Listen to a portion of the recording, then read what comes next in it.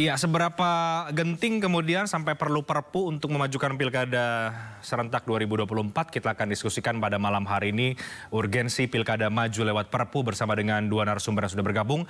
Ada Bang Idam Holik, uh, komisioner dari KPU, dan juga ada Bang Fadil Ramadhanil, manajer program dari Perludem. Kita sementara akan ke Bang Fadil terlebih dahulu sudah bergabung. Selamat malam Bang Fadil, apa kabar? Selamat malam Mas Renhat, kabar baik Mas kita lihat memang ada sejumlah uh, alasan ya kenapa kemudian tadi pemerintah lewat Mendagri mengajukan uh, untuk memajukan jadwal pilkada dipercepat uh, di tahun 2024. Ada lima, tapi yang kemudian menjadi highlight juga adalah soal antisipasi kekosongan kepala daerah pada 1 Januari 2025.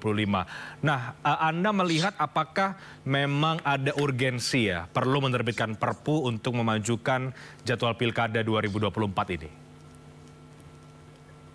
Saya ada dua hal yang paling utama Mas Reinhardt ya. Pertama soal menerbitkan perpu. Saya tidak setuju kalau presiden atau pemerintah terlalu latah dan kemudian mudah untuk menerbitkan perpu dalam uh, menjawab atau kemudian mengeluarkan sebuah regulasi selevel undang-undang. Karena perpu itu adalah salah satu toolbox-nya presiden dalam situasi dan kondisi kedaruratan Hmm. Jadi ada uh, ihwal kegentingan memaksa yang kemudian membuat presiden harus mengeluarkan perpu yeah. sehingga uh, dia tidak kemudian uh, sembarangan mengeluarkan perpu dalam situasi yang kemudian hmm. uh, apa namanya uh, apa namanya uh, perpu tidak kemudian uh, dikeluarkan dalam situasi yang tidak apa tidak tidak tidak tidak perlu, perlu untuk yeah, ya. dikeluarkan yeah. begitu karena dalam situasi saat ini presiden harusnya kemudian tidak mengeluarkan perpu dalam uh, apa dalam situasi yang di mana presiden bisa melakukan perubahan undang-undang. Hmm. Nah makanya uh, dalam situasi saat ini presiden tidak perlu mengeluarkan perpu karena penyelenggaraan pilkada dalam situasi uh, proses saat ini diselenggarakan pada bulan uh, November ya 2024. Yeah. Saya kira itu sudah sangat uh, on the track ya dan hmm. itu sudah uh, jelas dan tahapannya juga sudah disiapkan oleh KPU. Dan yang hmm. jauh lebih penting adalah pilkada itu kan tidak hanya soal hari pemungutan suara, tapi juga uh, tahapan dari awal yang kemudian penting untuk uh, dihitung oleh uh, pemerintah yang mengusulkan hmm. memajukan tahapan pilkada jadi September. Hmm. Dan yang menarik sebetulnya alasan Pak Mendagri tadi yang mengatakan bahwa kalau kepala daerah itu dilantik uh, di 1 Januari 2025 itu akan langsung bisa mensinkronkan program kepala daerah dan janji politiknya itu nggak mungkin itu. Okay. Karena satu Januari itu pembahasan APBD, APBN sudah selesai. Hmm. Nah kalau mau pilkada itu dimajukan lebih awal dan di bulan Agustus atau di bulan September itu sudah ada kepala daerah terpilih. Hmm. Sehingga dia bisa terlibat dalam pembahasan anggaran pendapatan belanja untuk tahun ke depannya. Hmm. Kan hmm. siklus uh, anggaran itu kan mulai dibahas di September, Oktober, November kan. Hmm. Nah hmm. kalau sekarang kemudian mau uh, mempercepat pilkada dengan alasan kemudian kepala daerah terpilih bisa uh, di 1 Januari menyingkronkan janji politiknya nggak masuk akal dengan uh, logika anggaran dan logika pembahasan undang-undang pilkada. Oke, oke. Okay. Jadi uh, kalau kemudian urgensi lewat Perpu, Anda melihat itu uh, tidak masuk akal, belum perlu. Uh, tapi tapi apakah menurut Anda singkatnya ya Bang Fadil, apakah menurut Anda memang pilkada ini sebaiknya dimajukan saja, dipercepat saja, mau itu lewat uh, katakanlah tidak lewat Perpu ya, tapi lewat uh, mengganti uh, aturan perundang-undangannya, itu nggak apa-apa menurut Anda?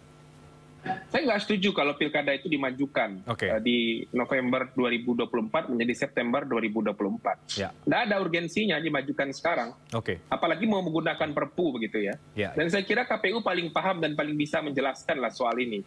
Hmm. Bagaimana nanti himpitan tahapan pilkada 2024 itu ya. dengan tahapan pemilu nasional. Ya, ya. Kalau pilkadanya dimajukan jadi September, itu akan ada beberapa tahapan krusial di pemilu nasional yang akan berhimpitan dengan tahapan-tahapan awal pilkada yang akan membutuhkan fokus tugas dari penyelenggara KPU hmm. di porsi kabupaten kota dan provinsi. Nah okay. itu tidak mudah. Yeah. Jadi jangan presiden atau Kemendagri lah kalau presiden kan tadi bilangnya nggak tahu ya uh, dan saya nggak yakin juga presiden nggak tahu karena kan Mendagri sudah bicara di RDP itu pasti sudah harusnya sudah bicara di dalam uh, proses rapat terbatas dengan presiden. Nah harusnya KPU menurut saya bisa menjelaskan bahwa pilihan memajukan tahapan pilkada itu harus akan berkonsekuensi kepada impitan tahapan yang ini dan kaitannya dengan tahapan pemilu nasional. Hmm, hmm, Jadi tidak hmm. bisa juga kemudian melakukan uh, simplifikasi dengan mengatakan ya kalau mau diubah kapan pun KPU siap saja. Saya kira enggak. Oke. Okay. Enggak pas juga ya. begitu ya. karena akan berdampak juga kepada himpitan tahapan ya. di tahapan pemilu ya. Ya, saya ke Bang Idam Holik ini sudah bergabung. Selamat malam Bang Idam, apa kabar? Selamat malam Mas. Ya. Selamat malam Mas Fadil. Bang Idam, uh, saya langsung saja ya. Idam. KPU memang ya. pasti sebagai penyelenggara pemilu menyatakan mengikuti aturan uh, yang ada gitu termasuk juga dalam hal kalau kemudian mempercepat uh, aturan pilkada dipercepat ini.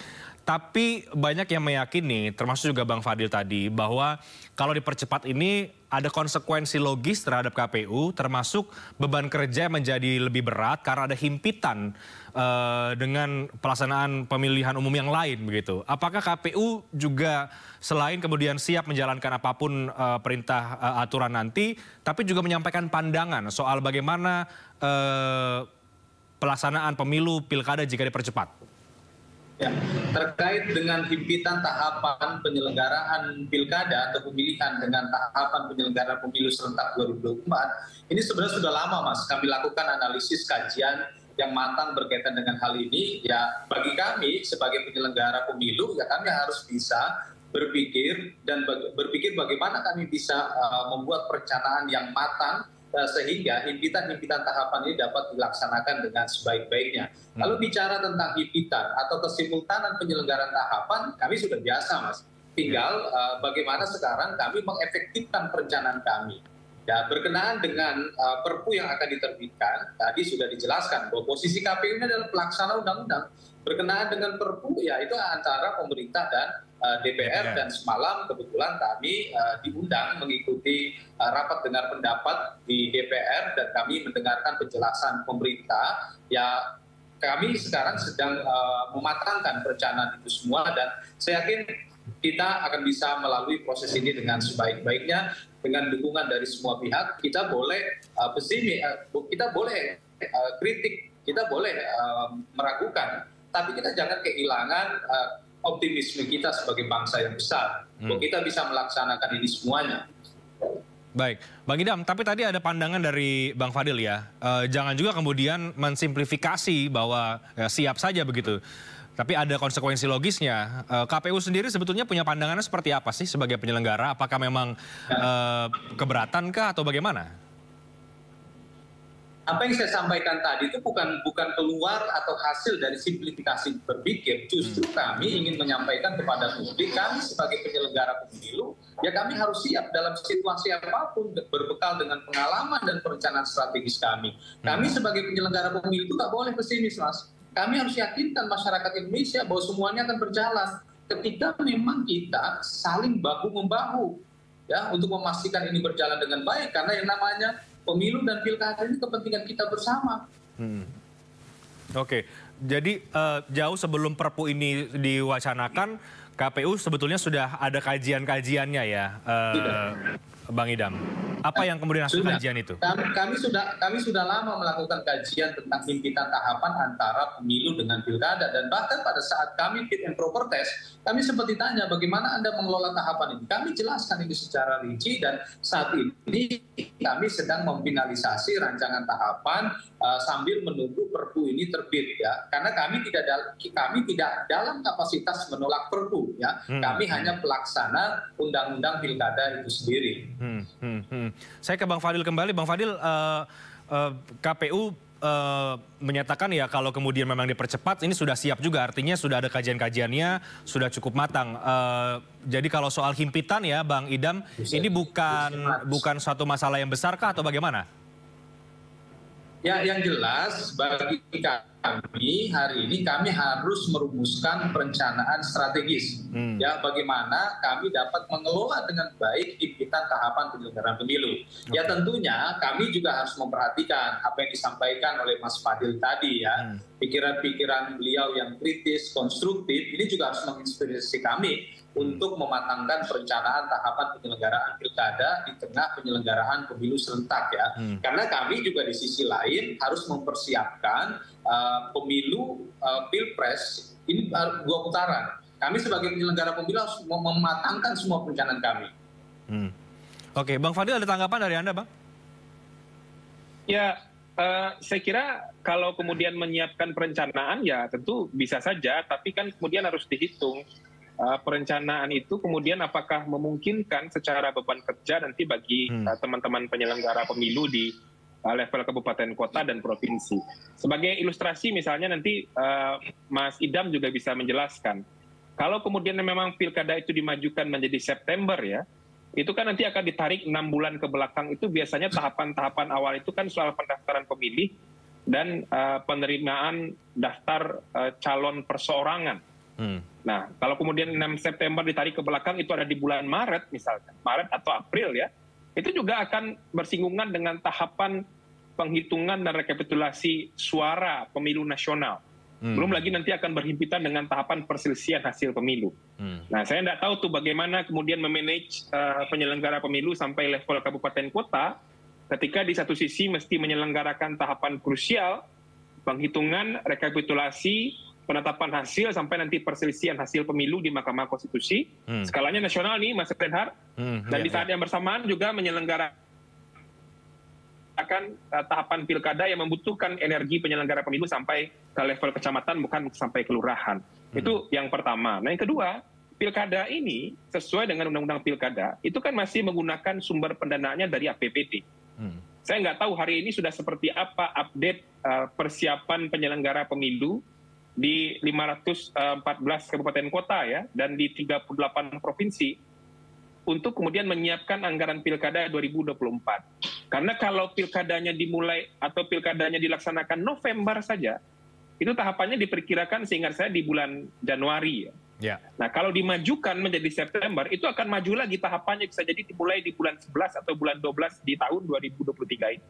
Hmm. Nah itu hmm. anggarannya akan uh, diambil dari mana dan seperti apa nanti uh, penyelenggaraan tahapan di ratusan kabupaten kota dan 30 lebih provinsi itu akan uh, dilaksanakan.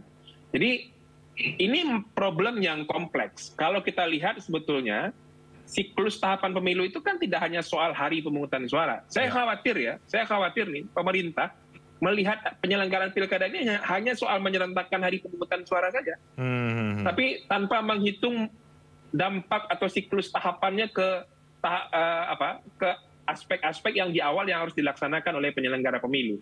Kalau tadi Mas Idam mengatakan ya KPU siap saja dengan semua kemungkinan ya mungkin kalau dijalani uh, sebagaimana apa yang bisa dijalani ya bisa saja.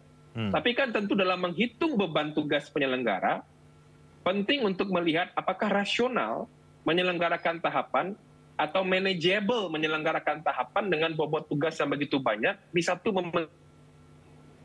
momentum yang sama. Hmm. Nah ini yang kemudian mesti dilihat lagi secara secara secara secara rasional begitu ya. Oke. Jadi jadi potensi masalahnya apa, Bang Fadil yang uh, bisa anda terjemahkan dari irisan yang sangat dekat itu? Uh, apakah kemudian ke, selain soal beban ya, apakah ini juga bisa sampai hal teknis seperti uh, distribusi logistik misalnya, produksi dan lain-lain atau seperti apa?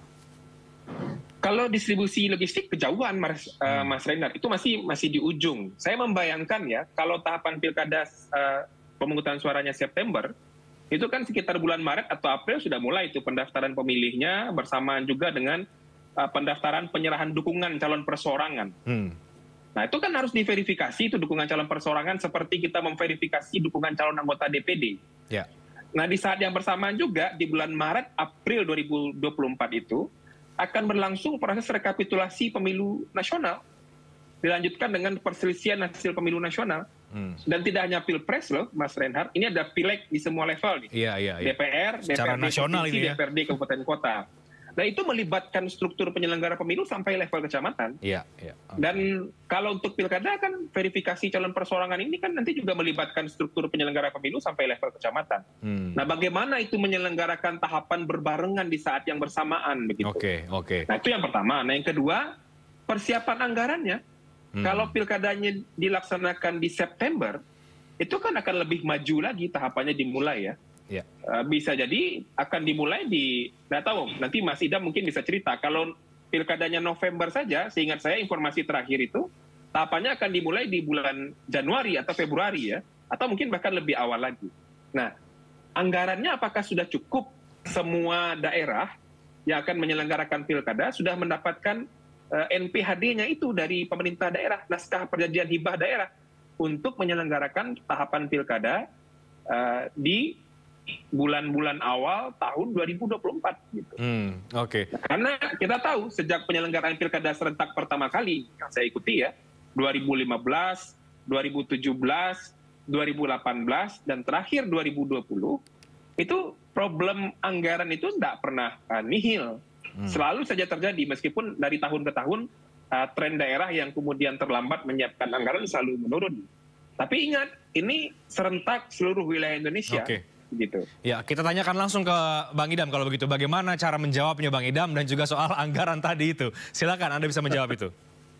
Siap. Saya ingin bercerita, Mas waktu pilkada serentak 2020 sempat ditunda karena pandemi COVID-19. Saya termasuk seorang penyelenggara yang meyakinkan publik di Jawa Barat pada waktu itu, apabila pilkada ini tetap dilanjutkan, ini akan berjalan dengan baik dan tidak ada korban jiwa di Jawa Barat. Saya sampaikan waktu itu. Hmm. Kenapa? Saya sebagai penyelenggara harus optimis bahwa yang namanya tantangan dan hambatan itu harus dikelola dengan baik dan terbukti tidak ada masalah ya. Apalagi semuanya pada waktu itu bahu membahu memastikan bahwa pilkada di tengah masa pandemi berjalan dengan baik didukung dengan regulasi yang baik didukung dengan infrastruktur yang memadai.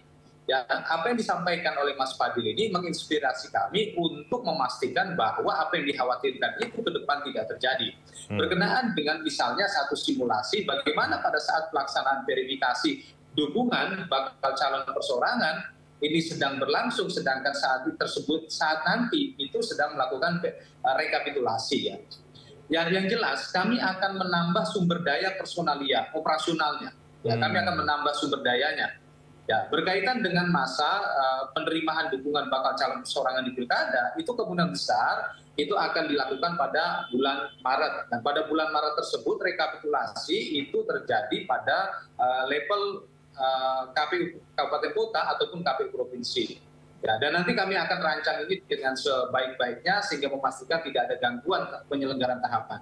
Hmm. Ya, kita boleh berpikir kritis, tapi bagi kami seorang penyelenggara, pikiran-pikiran kritis dari rekan-rekan kami, dari pengamat atau penggiat, ya itu menjadi menjadi motivasi kami untuk uh, terus berpikir bagaimana tahapan ini dipastikan berjalan dengan baik walaupun di tengah kita. Kami tidak bermaksud bahwa kami sangat optimis selalu kami kehilangan akal sehat, enggak justru kami harus kami harus yakin bahwa ini harus berjalan dengan baik. Oke. Okay. Ya. Jadi menambah uh, eh, SDM ya atau personalia ini ya. untuk uh, mengantisipasi uh, mungkin beban yang akan ditanggung ya oleh penyelenggara pemilu sampai ke tingkat uh, kecamatan mungkin ya, Bang Idam atau bagaimana? Ya, ya kami akan akan menambah uh, sumber daya SDM secara proporsional ya, sesuai dengan kebutuhan untuk memastikan tahapan ini uh, berjalan. Hmm, hmm. Uh, Bang Fadil ada solusi yang ditawarkan juga soal penambahan personil personalia, bagaimana anda melihatnya? Ya kalau mau menambah personil penyelenggara pemilu nanti kan ada dampak ikutan ya. Jumlah anggota KPU provinsi, KPU kabupaten kota, jumlah PPK, PPS itu kan diatur di dalam undang-undang. Uh, uh, nanti uh, bagaimana mau menambahnya kalau kemudian uh, regulasinya tidak menyediakan itu gitu. Hmm, hmm, hmm. Dan memang ini bukan apa, bukan uh, persoalan ansih uh, jumlah personil menurut saya, tapi yang uh, juga penting adalah soal bagaimana menghitung kemungkinan KPU bisa memanajemen penyelenggaraan tahapan ini. Yeah. Saya kira kan uh, memitigasi potensi persoalan dalam penyelenggaraan tahapan menjadi sangat penting ya. Hmm. 19 bagaimana uh, manajemen di dalam proses pemungutan dan penghitungan yeah. dan suara dengan jumlah pemilih uh, per TPS 300 orang itu ternyata terbilang masih cukup banyak ya. sehingga menimbulkan kelelahan bagi okay. anggota uh, KPPS dan sekitar 600 orang meninggal dunia saat itu gitu. Oke, okay, baik. Nah, nanti bisa dibayangkan itu tekanan dalam melakukan proses rekapitulasi di saat yang bersamaan juga mesti melaksanakan tahapan uh, pilkada hmm. yang juga mesti turun ke lapangan, butuh hmm. supervisi, butuh pengawasan dan lain-lain. Saya kira okay. uh, mungkin akan lebih baik mungkin ya uh, Mas Idam dan kawan-kawan di KPU memaparkan juga kepada pemerintah khususnya ya karena kan yang mau memajukan pilkada sepertinya pemerintah nih lewat menggunakan perpu begitu ya hmm. menjelaskan juga bahwa ini akan berimplikasi kepada manajemen tahapan yang tidak mudah ya. bagi penyelenggara okay. pemilu dan tadi Mas Idam kan mengatakan bahwa KPU sudah punya simulasinya hmm. dan saya kira mana simulasi yang paling mungkin untuk dilaksanakan oleh KPU dengan tidak menghasilkan banyaknya himpitan tahapan itu okay. yang kemudian harusnya uh, dipilih okay. sehingga uh, tidak membuat proses penyelenggaraan pemilu nanti akan uh, penuh risiko di tengah tahapan yang semuanya sebetulnya uh, sama pentingnya begitu. Baik, Bang Fadil, kalau kemudian Anda melihat uh, memajukan pilkada ini tidak tidak diperlukan ya, tidak masuk akal bahkan lewat perpu begitu. Jadi sebagai pemerhati pemilu begitu ya bersama kawan-kawan dari Perludem, Anda melihat uh, jadi alasan pemerintah ini uh, apa sebetulnya motifnya dengan memajukan pilkada ini? Yang paling bisa menjawab ini tentu uh, pemerintah ya dan uh, Kemendagri yang menyampaikan gagasan ini. Meskipun uh, gagasan mengeluarkan Perpu ini sudah kita dengar sekitar uh, satu bulan yang lalu, hmm. bagaimana uh, Perpu akan dikeluarkan untuk memajukan tahapan pilkada. Nah, tapi tentu dalam uh, konteks uh, hari ini kita berharap proses penyelenggaraan tahapan pilkada ini tidak digunakan hanya untuk kepentingan bagaimana kemudian uh, situasinya uh, berpihak pada kelompok dan tujuan tertentu saja. Hmm. Nah, kan ini tiba-tiba nih ide yang kemudian tiba-tiba memajukan pilkada dari November menjadi September. Kalau boleh mundur sedikit ke belakang, Mas Reinhardt, kalau memang mau serius melakukan penataan ya, kita dulu mengusulkan yeah. tahun 2023 itu melaksanakan pilkada saja untuk daerah yang menyelenggarakan pilkada di tahun uh, 2018. Hmm, hmm. Sehingga di 2024 ini tidak terlalu bertumpuk dan tidak perlu ada penyelenggaraan pilkada yang bersamaan dengan pemilu nasional. Okay, Kalau okay. serius mau melakukan penataan begitu. Yeah. Ya. Nah, sekarang kan pemerintah hanya bicara penataan soal hari pemungutan suaranya saja. Yeah. Saya belum dengar ya pemerintah bicara penataan pilkada ini dengan merancang keserentakan pelantikan. Hmm. Masalah kita kan sebetulnya di keserentakan pelantikan ini. Hmm. hmm. Dan di kapan pelantikan serentak itu idealnya dilakukan, hmm. sehingga pejabat kepala daerah yang dipilih melalui proses pemilu itu bisa langsung kemudian memasukkan agenda program kerjanya sesuai dengan siklus pembahasan anggaran di daerah. Ya, ya. Poin Pak Mendagri tadi itu betul, kita penting merancang keserentakan pelantikan, tapi tentu harus dilihat juga sequence anggaran tahunan itu di bulan apa gitu. Yeah, yeah, yeah. Kalau bulan Januari mau menyertakan tahapan, nggak make sense. Karena Januari itu waktunya sudah melaksanakan program orang, pembahasan hmm. anggaran sudah selesai. Hmm. Kecuali keserentakan pilkad, keserentakan pelantikan itu mau dilaksanakan misalnya di bulan Juli, Agustus. Nah, itu make sense. Sehingga okay. si kepala daerah baru terpilih bisa membahas ya, ya. anggaran di bulan September, ya. Oktober, dan November. Baik, baik. Gitu. Ya, jadi jangan sampai kemudian dipercepat hanya untuk kepentingan kelompok atau kepentingan pribadi begitu ya kira-kira ya Bang Fadil ya. Ada alasan yang substansial. Lebih begitu. kurang begitu. Oke, singkatnya ya Bang Idam terakhir uh, berarti KPU ya. sekarang menunggu bagaimana keputusan dari pemerintah dan juga DPR ya. Dan uh, dengan simulasi apa pun itu akan dijalankan. Ya, yang jelas saat ini kami sedang mematangkan simulasi tahapan dan kami juga terus lakukan kajian ketika uh, tahapan ini dilangsungkan di tengah himpitan tahapan-tahapan lainnya. Dan kami pastikan bahwa uh, apa pun nanti putusannya kami kami sebagai penyelenggara pemilu kami harus laksanakan ini dengan sebaik-baiknya. Oke. Kita akan tunggu nanti seperti apa keputusannya dari pemerintah dan juga DPR. Tapi terima kasih perspektif yang sangat menarik. Semoga bisa mencerahkan pandangan publik ya. Terima kasih banyak Bang Idam, terima kasih banyak Bang Fadli untuk bergabung malam hari. Selamat malam, sehat selalu.